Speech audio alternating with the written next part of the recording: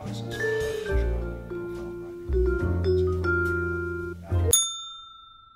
That is music to my ears. And of course, one of the biggest causes of that, this, a turbo. The sound of those blades is heavenly. The sound of a four rotor is also heavenly. But my third most favorite sound in that video is the idea of a sequential transmission. If you notice, Carl, the guy in the video, is actually the previous owner of my four rotor. And the thing that Carl is doing that makes me super jealous in the video is he is slamming gears. You just see him pulling on that. There's two levers. One's a e-brake, but the other one is the transmission. And I am excited to say that that is the exact same transmission that we have for this project. I have not shown this off in detail at all because I didn't want to do it until this phase, until we were actually building the damn car, and here it is. Can I get a drum roll before you do that? Oh wait, hang on, hang on. On the window? That was Come on, Rob. was me, that was me. All right, show the damn. we failed the drum rolls. This is the Holinger RD6. It's very fitting considering uh, those are my initials. Six stands for something on me too. This is a sequential transmission and there is so much packed inside of this small container. I spent a whole day with Dana from Holinger USA describing the internals of this. Unfortunately, the audio was filmed separately back when we didn't have our cool vlogging cameras. I don't have the audio files, and Dana is a soft-spoken man. The audio didn't turn out as well as we wanted to. I think he's wondering when was this video ever going to be released because we filmed that two years ago. Some of the things that he told me about this transmission. Some of you know sequential transmission means there's no H pattern. There's no first, second, third, fourth, or even on the Diablo, first, second, third, fourth. It's down, down, down, down, down, up, up, up, up, up, and you go from reverse, neutral, kind of like a, a motorcycle. Same kind of concept. You, you just directions. You do not use a clutch for most of those shifts.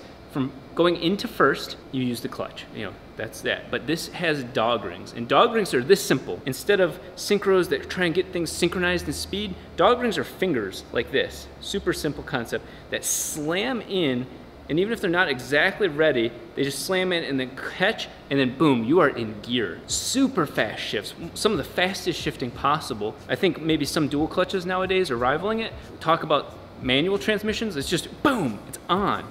And violent, it's good. Still smooth in a general sense, but violent overall. This transmission is surprisingly light. I'm actually gonna measure it. I'm gonna go read your standard measurement process. This thing has come in so handy. I saw one comment on the channel that was like, Rob Dahm, the weighing channel. so uh, I am, uh, Jared, go ahead and uh, blur that out. 191. 280. 191.4. There's an I hate you so much. Oh, I am 280. Oh my God, exactly Shut up. 280. Shut up. No way. What? what the fuck? You are you are clairvoyant, Jared. That's really weird. That is really weird. That was that was first and only take. Oh my god, dude. What? Okay, so that, oh, maybe it's these guns, but that felt uh, lighter than that. If I'm 190 and that's 280, that's 90 pounds. Still way lighter than the T56 Magnum and way less awkward. It's very small and compact. That is a transmission capable of handling a shit ton of torque. I picked this for a couple reasons. And one of them was that the transmission for the Hoonicorn was not capable of reaching both the wheel speed and the torque that I was going to need on this car. The RD6 is capable of both. I have a custom gear set in here, but just like most transmissions, fourth gear or fifth gear, I think on this one, fourth or fifth, is one to one, meaning that each gear is the same size. So what goes into the transmission comes out of the transmission at the same speed. One of the most interesting things that I have done on this transmission is the billet piece up here. If you take this off, this is where you would pull, like Carl did on that video, he's pulling a lever that shifts the transmission. Instead, I have this actuator arm right here, but this, a pneumatic actuator. Both up and down, you feed it air from an air tank, air pump, air tank setup, and then you trigger the actuators up or down, and it's sitting right there, pulls the transmission up or down. You can have A, the ECU shift a manual transmission, or B, you can have paddle shifting, and it's still a manual. I'm not talking like the Toyota Corollas where they got sport mode, you shift it, the manual or automatic transmission to sport mode, and you press the little tab buttons on the steering wheel. That is the farthest thing from sport mode. I'll even give Toyota, a little bit of razzing about that. It shifts super fast, the ZF whatever 8 or whatever that is. This is actual manual transmission being shifted pneumatically. That, that just, that's like the cream of the crop to me. I can have paddle shifting. I still want to have the big shifter. The ECU can control the shifting. If I'm just focused on going really fast, the ECU can get right up to the correct RPM and shift it for me. So thank God for the Adaptronic being capable of doing all of that. So that is probably the pinnacle of what this transmission will do as it is in this car. So quick side note, this is the stock FD manual rear flywheel. There's not a front flywheel, but it's, it's there's multiple purposes for this thing. This weighs 191 plus 211, so this weighs 20 pounds. My goal, my goal here is to make this engine sound like a 787B. I'm talking like that woo, woo, that high, quick revving. Here is one of my many solutions to doing that. This is a billet, I love the word billet, aluminum flywheel. Let's see how light this is. So 20 pounds is on the other one. So this one is 11 pounds less than the stock FD flywheel. Those of you guys with sharp eyes are gonna notice something that I'm not including though. This one includes a chunk of metal right there. What that chunk of metal is, is this right here. It's a counterweight. I'm gonna be apples to apples comparison guy. Here's the counterweight to my other four rotor. Let's measure how much this weighs. Should weigh, it should weigh four pounds. So when you add the combination of these two together against this, we shave more than four pounds off of the rotating mass on the back of this engine. Massive numbers that make a big difference. It will increase difficulty and drivability. You know, the engine's gonna, you know, you can choke the engine out easier because there's less mass, there's less uh, momentum, I guess. That might be the correct word, might not. But you know what I mean, is that when there, it's spinning, it's gonna stay spinning, less mass means that putting the clutch in gear, ugh, I could potentially choke it out. But there you go, there is even more of all that billet goodness on the drivetrain coming to you all at once.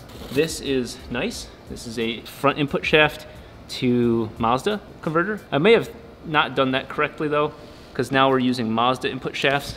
And with a pilot bearing, uh, with a pilot bearing, it goes something like that. And then you put your clutch in here. This is gonna take some tool retooling. Uh, my dream would go to get four plates into this spot. I don't think that's gonna happen, but we can always get this machined again to solve our challenge. Now, if you thought that that was the end of how cool this transmission is, you are thankfully wrong. This backside is designed to work for GTRs. So I kind of took Carl's idea of having a rear wheel drive Holinger RD6. It was Dana of all people who solved my all wheel drive dilemma.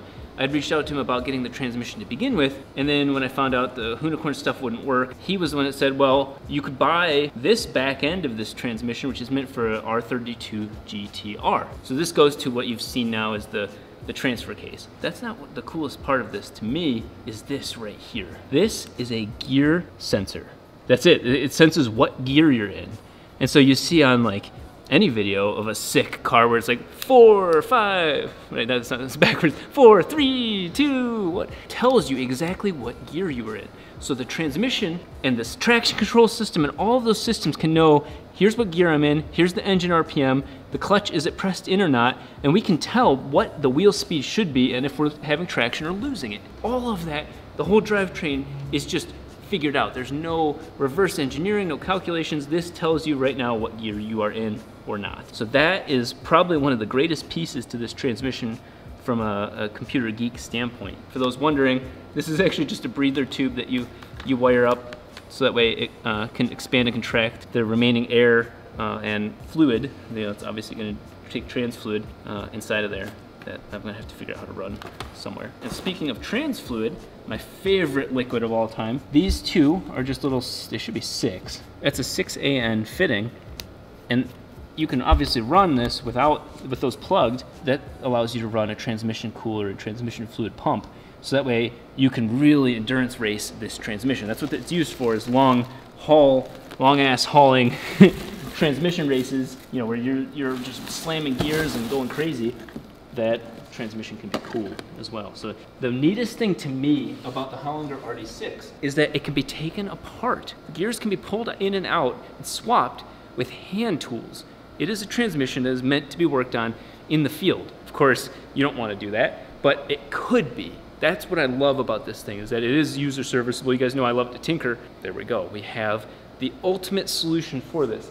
As for official numbers, they say that it's rated to 650 foot-pounds of torque.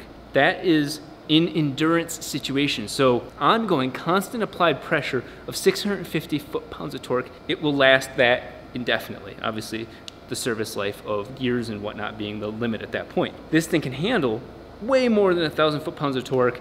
You know, it's obviously nobody ever tells you the maximum because you know there's a liability involved. But this thing can handle what we're going to be putting down without a problem. You see a lot of those guys doing their GTR all-wheel drive setups, and well, they they've set the precedent for me.